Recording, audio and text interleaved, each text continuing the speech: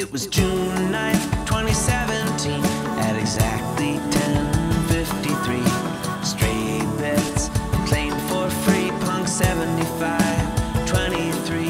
A one dollar transaction fee, 279 was the price of each.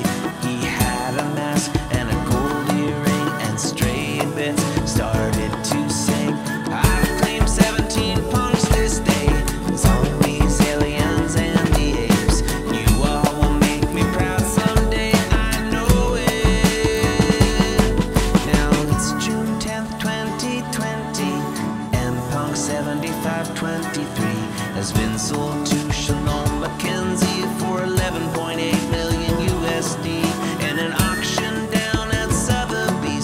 Silly Tuna has made so much money and a world away. Stray Bit sits proud of his COVID alien. Punks they come and punks they go, impermanent as the rivers flow. You can let go or you can hold, it's okay.